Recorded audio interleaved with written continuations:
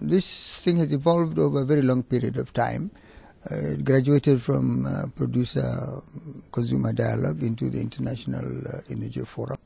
And now we hear um, more noises uh, uh, from the um, big economies of the world that um, something ought to be done to um, put um, energy um, uh, prices in, in, a more moderate, controllable levels in the interest of maintaining healthy growth of the international economy. That's uh, that's very very good sign. It's a far cry from the time when they, they didn't want to even discuss uh, prices.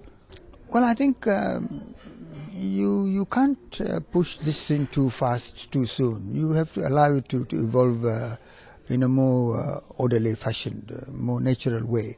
But obviously, you, you don't want to take forever over this development. You want to do it as expeditiously as possible and reach some some better understanding as soon as possible. But uh, reaching understanding uh, with so many groups with disparate interests um, naturally will take a bit of time. But uh, we have to be patient, but uh, try and push it as, as quickly as we can.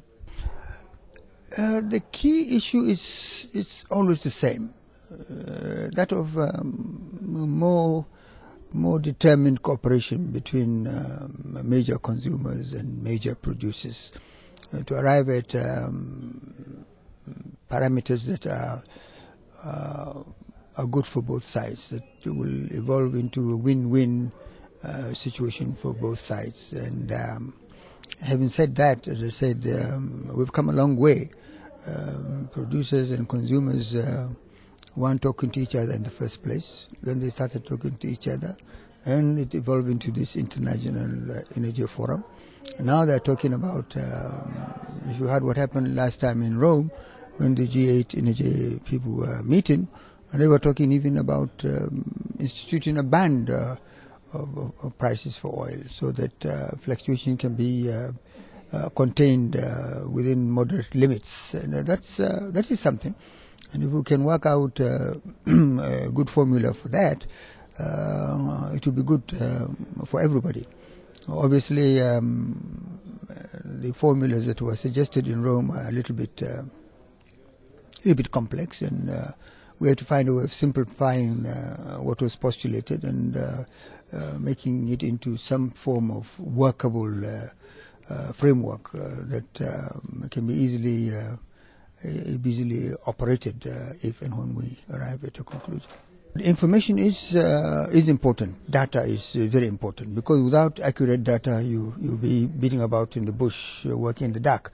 If you have more information, more data, you're able to uh, assess more accurately what is going on, and you're in a better position to design ways and means of, of, of dealing with problems when they arise. But when you don't have accurate data, then uh, uh, you, you have very little chance of, of coming up with viable solutions. So data is important, and uh, I don't think we can stress that enough. So uh, we're happy that uh, this oil data initiative has taken root and that people are, are taking it seriously and are cooperating with the institution to to provide uh, what information is required uh, so that we can know more transparently what exactly is going on.